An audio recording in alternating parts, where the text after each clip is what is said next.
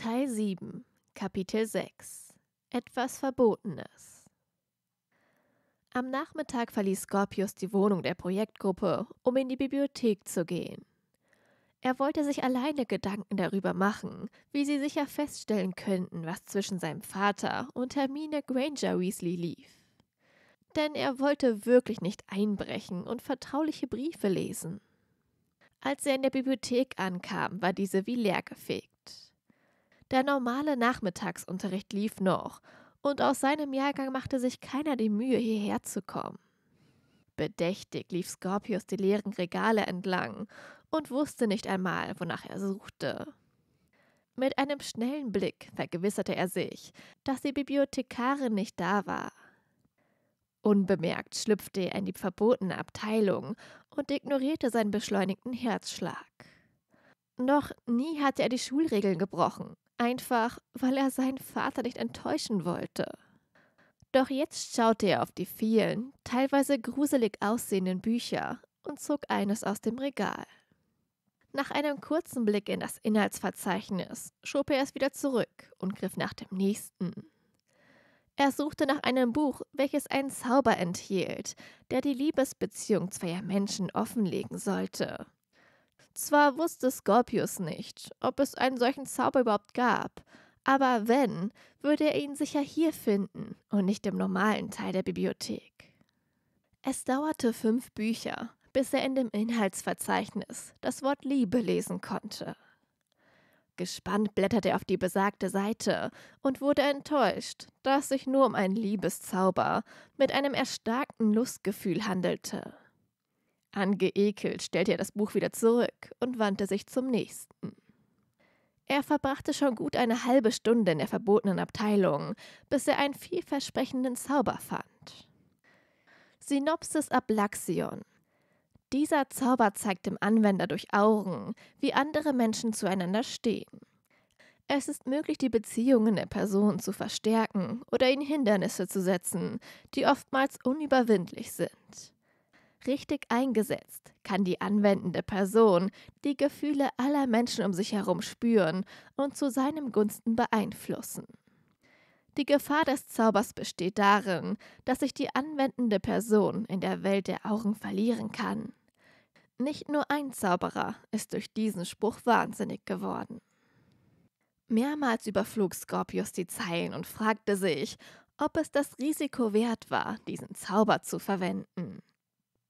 Immerhin könnte er so nicht nur die Gefühle seines Vaters und Hermine Granger Weasleys erkennen, sondern sich auch vergewissern, was Rose für ihn empfand. Ob sie überhaupt etwas für ihn empfand.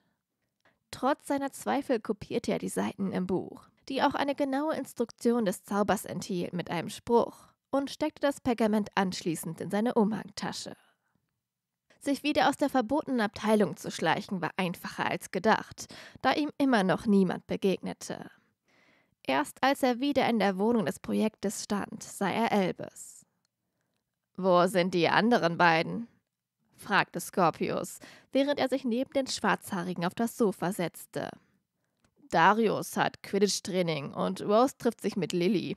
Sie wollte mich nicht mitnehmen, weil sie angeblich irgendwelche Mädchengespräche führen müssen. Den letzten Satz grummelte der Slytherin beleidigt in seinen nicht vorhandenen Bart. Scorpius lachte bei dem Anblick seines besten Freundes und streichelte Murphy, der sich kurz nachdem er gesetzt hatte, auf seinen Schoß gelegt hatte. Selbst mein Haustier kuschelt lieber mit dir als mit mir, brummte Elbes dann noch und streichelte den kleinen Kopf des Frettchens. Ich glaube, das liegt an deiner Haarfarbe.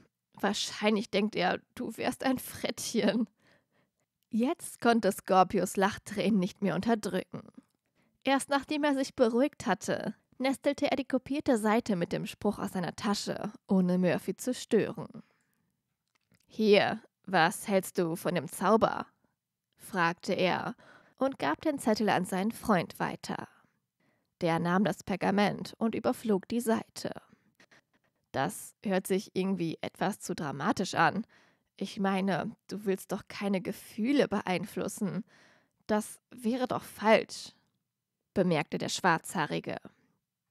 Aber hier steht auch, dass der Zauber zeigt, wie Personen zueinander stehen. Wenn man ihn nur anwendet, um das zu sehen, ist doch alles gut, oder? Elbes runzelte nach dieser Bemerkung die Stirn und starrte die Wörter auf dem Pergament an. Scorpius, du willst das doch nicht nutzen, um zu sehen, was Rose für dich empfindet, oder? Hellgrüne Augen starrten ihn eindringlich an. Nein, antwortete Scorpius etwas zu schnell. Ich glaube, das Risiko ist es nicht wert. Fragt deinen Vater einfach oder wartet etwas, bis sie es euch sagen. Nicht, dass du wirklich wahnsinnig wirst, riet ihm der Schwarzhaarige dann, und der Blonde nickte nachdenklich. Wahrscheinlich war es das Risiko wirklich nicht wert. Umsonst stand das Buch mit dem Zauber bestimmt nicht in der verbotenen Abteilung. Was ist, wenn mein Vater wirklich etwas mit ihr hat? fragte Skorpius dann flüsternd und starrte ins Nichts. Bilder seiner Mutter traten vor sein inneres Auge. Skorp, es ändert doch nichts an der Tatsache, dass dein Vater deine Mutter geliebt hat, murmelte Elbes ebenso leise und legte dem Slytherin beruhigend eine Hand auf die Schulter. Scorpius seufzte. Innerlich hatte er geahnt, dass sein Vater sich irgendwann wieder verlieben würde. Aber musste es ausgerechnet die Mutter von seinem Schwarm sein?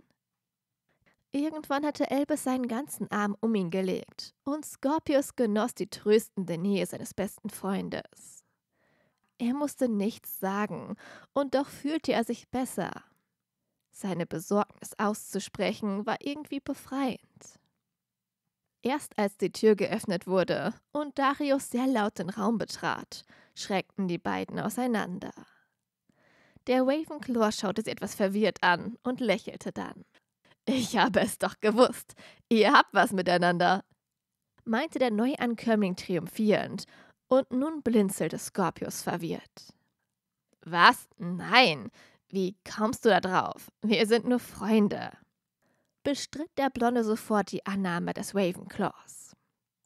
Ob Elbes das auch so sieht? murmelte dieser so leise, dass Scorpius sich nicht sicher war, ob er die Worte richtig verstanden hatte.